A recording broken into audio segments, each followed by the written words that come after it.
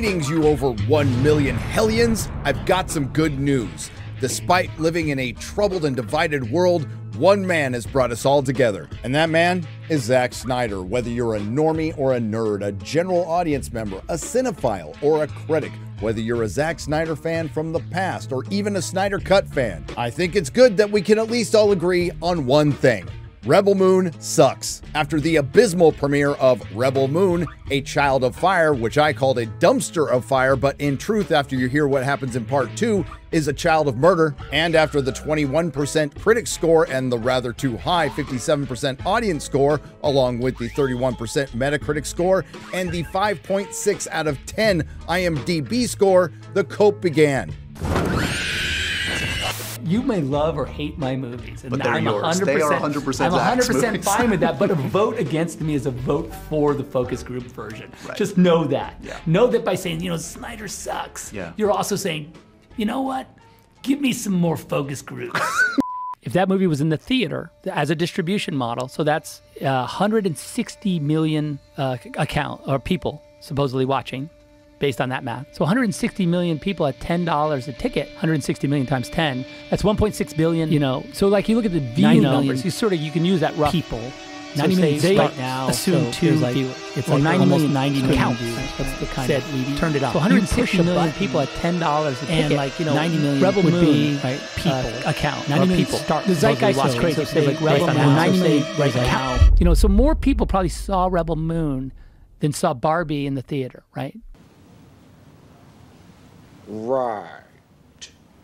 Unfortunately, none of the criticism or their ability to use any of their five senses is going to deter Netflix or Zack Snyder from releasing what is now possibly going to be part two of a six part trilogy. And all of that is completely separate from the director's cuts, which are now alternate universes. It's just going to be a lot deeper dive of everything. They're both an hour longer. No, God!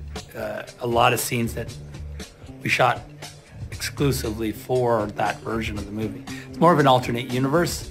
No, God, please, no! You know, like if you were to go forward and make another movie and you were going to do another director's cut, they might diverge even more. Like it's hard to say, like they might end up in these two entirely different like parallel um, sort of, you know, experience. No! No! No! Still, you would think, let's give the second part a chance. Things couldn't get much worse, right? So let's talk about Rebel Moon, part two of a six part trilogy, The Scar Giver. Not to be confused with Rebel Moon, part two of a six part trilogy, The Scar Giver Director's Cut. Oh, why am I calling it Rebel Moon? I rebel.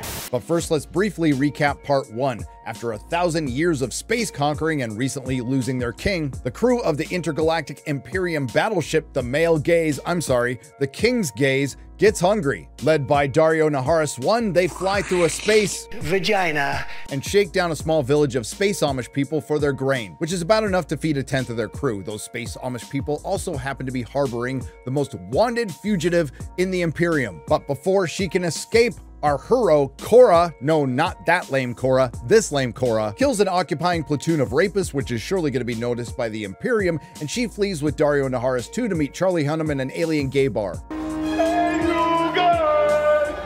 So she can find some allies to help fight Daario Naharis 1 when he returns. After spending most of the film picking up a bunch of people Zack Snyder couldn't be bothered giving any characterization to, the Child of Fire Scar Giver goes to planet Calamari, which is rich in resources, to meet Space Antifa. The very hungry Imperium is tracking Space Antifa, and they just miss him as they arrive on planet Calamari. And instead of commandeering their very rich resources that would feed them for years, they nuke the planet. Then the Imperium, which is capable of interstellar travel through space vaginas, can extract memories from dissected brains, and are capable of telepathic communication, while still not being able to grow their own food on a spaceship, fight Space Antifa on a platform, and the Child of Fire Scar Giver defeats Daario Naharis 1 and they think the battle is over. Wow, that almost makes it sound like something happened in Rebel Moon Part 1, which it didn't. This brings us to Rebel Moon Part 2 of a six part trilogy, The Cringe Giver, where our Amish colony on the edge of the galaxy fights for their very survival against a tyrannical and very hungry Imperium, not to be confused with Imperial ruling force, relying on the efforts of a very small and uncharacterized group of rebels. Thankfully, this part two of a slow mo stupor of a vanity project is shorter, yet it somehow managed to feel longer and dumber. And of course, there's that good old Zack Snyder slow motion. There's slow motion screaming, slow motion battle, slow motion two guys staring at each other on a bridge, slow motion harvesting, slow motion blowing wheat, slow motion guy putting his canteen in a barrel of water. I mean, this film's got everything except for any kind of an engaging story or narrative to speak of whatsoever, an engaging character or characterization at all, any discernible depth of field, and any reason to exist. Daario Naharis 1 indeed survives and is brought back to life and tasked by Regent Belisarius to bring back his daughter, the Child of Fire Scargiver, who he took in after he killed her family, and destroy the Space Antifa insurgency, who's probably planning to block a space vagina. When Daario Naharis comes back to life, he keeps his scar from the Scar Giver as a reminder after he captures the Scar Giver that the person who gave him the scar was the Scar Giver. Dear viewer, you may be asking yourself, hey, didn't the Imperium leave behind a platoon of rapists to make sure the grain was harvested, milled, and turned into wheat? Yes. And didn't they get killed? Yes. Didn't the Imperium miss them? No, because the effeminate male feminist who betrayed the platoon of rapists stayed behind to stay in contact only because he's doing what male feminists do, playing the long game. The male feminist who's biding his time has been telling the Imperium that everything is fine and oh shit, that rhymed and I'm going to stop now. But he did find out they're returning in five days, which gives the Space Amish and our rebels who we know next to nothing about three days to harvest the precious grain. And the first half of this movie is filled with the aforementioned slow motion harvesting, slow motion blowing wheat, slow motion throwing grain up in the air with a saucer, slow motion drinking water. There's a training montage, and what we get in almost every film like this is some girl who looks like she doesn't know how to shoot, but she actually shoots pretty damn well, and we get that three times. By the way, shout out to the two way women out there. We also get dancing, the drinking of ale, and a feast. And for a space Amish colony that said they were pretty short on food, it looks like they have plenty of food. But 40 minutes into the second part of this movie, we get Zack Snyder's worst scene and Zack Snyder's worst film. I wish I was kidding. A character exposition dump roundtable. And listen, audience, I can hear you now. Why are you being such a nitpicker? Every film waits for 40 minutes into its second part to develop its characters. That's right, an exposition dump that is best described by our friend Mauler. You see, I used to be in a nice place, and then mean people came, and I was sad because my loved ones died, and now I'm in a village defending grain. Every single fucking Rebel Moon character history. We start with the Gladiator, who just so happens to be a cast member from Gladiator, who's unsurprisingly named Titus. He betrayed Regent Belisarius and was punished by having his men killed right in front of him. How the shockwave didn't kill him and those soldiers, no idea. There's Screaming Antifa Boy, who's also a member of the Furiosa fan club, who's from a small village that was enslaved by the Imperium.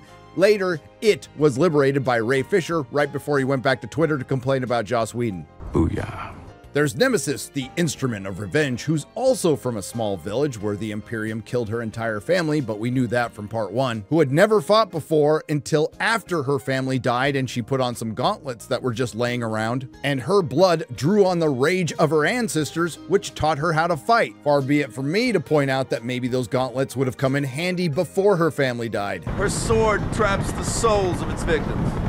Then there's Tarak, the Griffin Rider, not to be confused with Turok, the dinosaur hunter, who looks to be from planet London. Checks out. He's a prince, as we know from part one. His father was murdered by the Imperium, and his mother jumps off a building right in front of him after realizing her plan to put griffins up against spaceships probably wasn't a good idea. Not a great plan.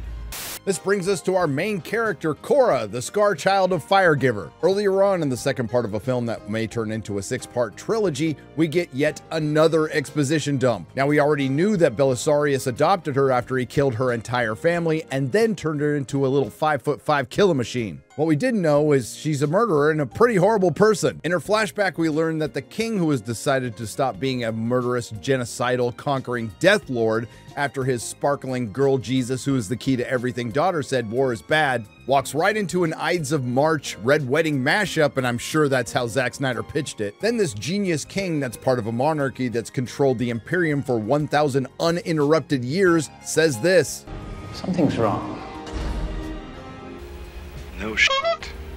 I don't know what gave it away. The sinister or somber looks from all the people dressed in black with something clearly hidden up their sleeve? Or was it the orchestra with the death bags over their heads? And I you not, who also happened to be the score of the film. They raised the tempo as the king and queen are Caesared. And Cora, the girl who's the key to everything, who was tasked to protect the other girl who's the key to everything, murders the girl who's the key to everything right after she forgives her. Then Belisarius betrays her when Cora is framed for all three murders instead of just the one. Then the fire giver of Scarchild miraculously escapes all the people with guns and knives. How'd she get off the ship? Don't know. There are a couple of other characters. There's Anthony Robotkins, who was set up to play a pretty major role in The Cringe Giver and didn't. He had a brief conversation, he stared at the sky, and killed a couple guys in the last battle. Finally, we have the most fleshed out character of them all, the only one to have a true character arc. The grain. It was seeded, it was plowed, it was grown,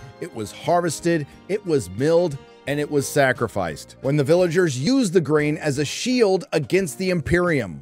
You heard me right. Today we begin the preparation for our defense. We start by moving the grain into the village so that they can't shoot us from orbit without risking its destruction.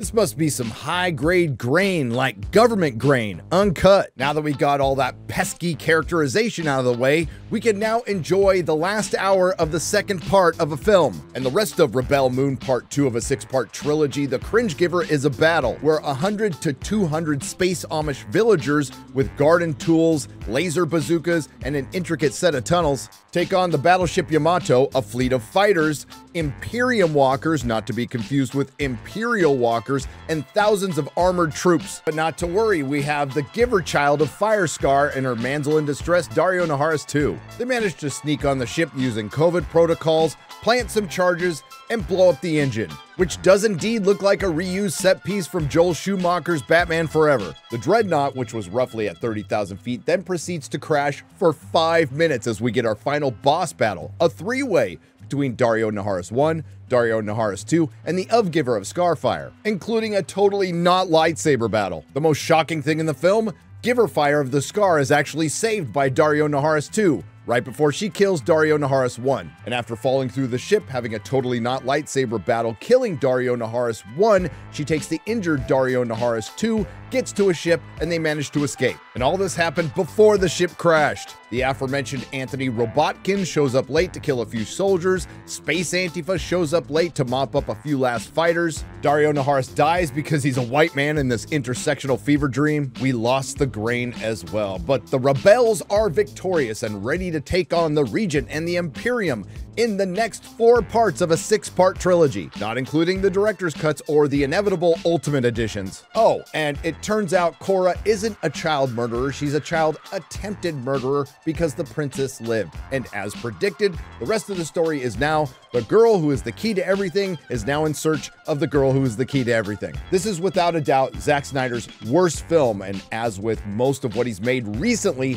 I have a lot of questions. Not that I care that much, but let's ask him anyway. Why did the black women of Space Antifa show up late to the battle? Hey, don't kill the messenger, I'm just pointing it out. Why do the rebels look so relaxed and happy? The Imperium is still out there and they have the ability to fly through a space. Vagina. That might be answered better with this next question. How in the hell did an empire last 1,000 uninterrupted years when they travel space in ships that run on coal that power an engine that's a face puking spaghetti? How in the hell did the space Amish villagers dig all those tunnels in two days? Burrow!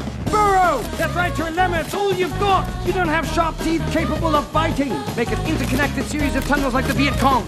And since the grain in their village was destroyed, why didn't the space Amish villagers just do what they should have in the first place? Run! If the grain was so precious and it was being used as a shield, why didn't everybody just make grain suits? And what the hell was so special about this grain? Was it co-grain? But at least we didn't get an egregious reference to the movie title within the film. What an honor it was. A scar from the Scargiver herself. Oh, As my good friend Mauler pointed out, Rebel Moon Part 2 The Cringe Giver should be shown in film schools for the rest of eternity to show students exactly what not to do. And you may have noticed that Rebel Moon Part 2 did not get the special premiere that Rebel Moon Part 1 got. And the reaction to The Cringe Giver is trending down from the reaction to The Dumpster of Fire. And as I said earlier, Zack Snyder has actually brought us all together in one collective voice, making one simple request Please stop. I'm about to say something I will never say again. As you know, Rebel Moon is a rejected Star Wars script, and despite there being a narrative out there trying to convince us that the architect of Star Wars destruction isn't woke, the same architect who hired former personal assistant to Harvey Weinstein, Leslie Headland, to run a Star Wars show. Yes, yes. I have to admit, with Rebel Moon anyway, Kathleen Kennedy, you made the right call. Dirterotic.com. If you like what you heard, please like, share, and subscribe. If you didn't like what you heard, I thank you for listening this long. I will see you in the next video. Vagina.